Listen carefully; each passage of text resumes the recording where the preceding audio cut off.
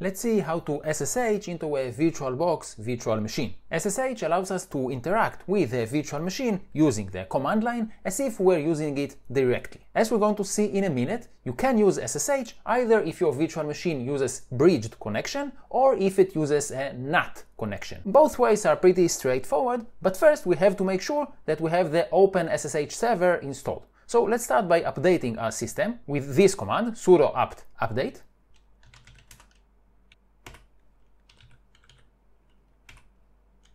And now let's go ahead and install the OpenSSH server using this command, apt install OpenSSH server. And I have the OpenSSH server installed as well. So first, let's see how we can SSH into a virtual machine that uses a bridged connection. So in the virtual machines menu, we need to go machine and settings. And then from the options here, we need to choose network and we want our virtual machine to use a bridged network. So here I'm making sure that we are connected using the bridged adapter.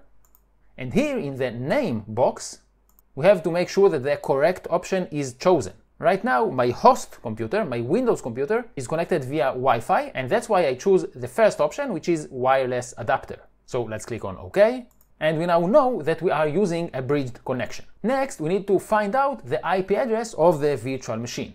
This can be done with this command IPA. And as we can see, the IP address of the virtual machine is this one, 172.20.10.3. This is the IP address that we're going to use to SSH into this virtual machine. Next, we need to open the terminal in our host system. So in my case, I'm using Windows 11, so I'm going to open the Windows 11 terminal. So I can right click on the Windows Start icon and open my terminal. And now let's find the IP address of the host machine.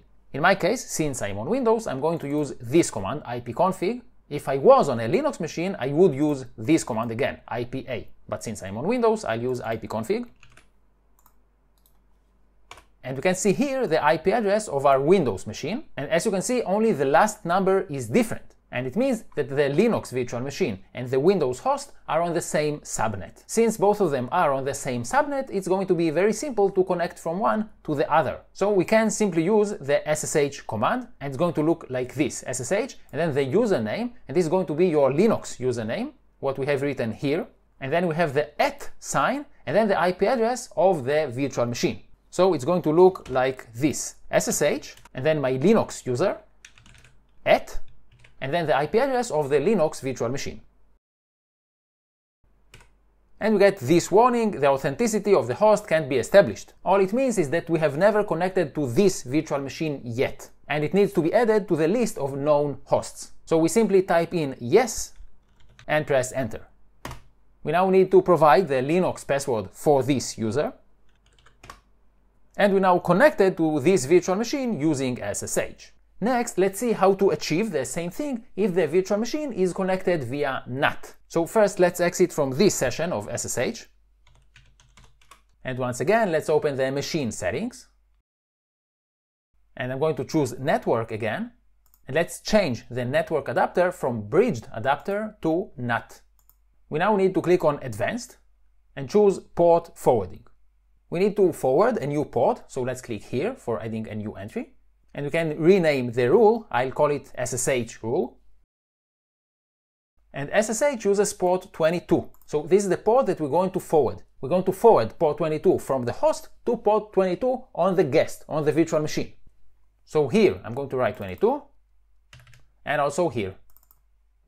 This will allow me to SSH into my host machine. And when I'll try to connect to my host using port 22, the request will be forwarded to the virtual machine. So the machine that will actually take care of this request is the virtual machine. So we can make the request to the host, but the one that will actually handle it will be the virtual machine. And that's exactly port forwarding. So let's click on OK and OK again. And if we now check the IP address of the virtual machine, we can see that now it belongs to a completely different network. We're only going to be able to connect to it via SSH because of the port forwarding. So now our command is going to look like this. And as you can see, we're going to connect to localhost. So SSH, and then our Linux username again, at localhost. Once again, we need to provide the password. And once again, we connected to the virtual machine using SSH.